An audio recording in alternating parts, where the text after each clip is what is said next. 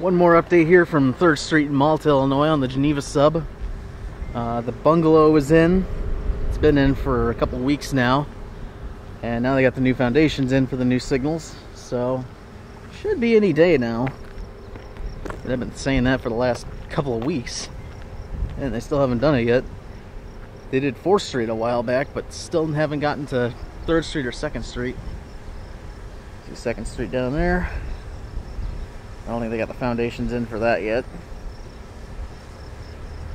Yeah, not yet. But again, any day now. One last look here.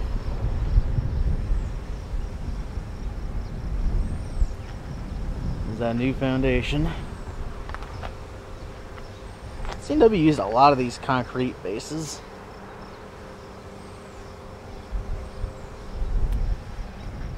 Yep, any day now.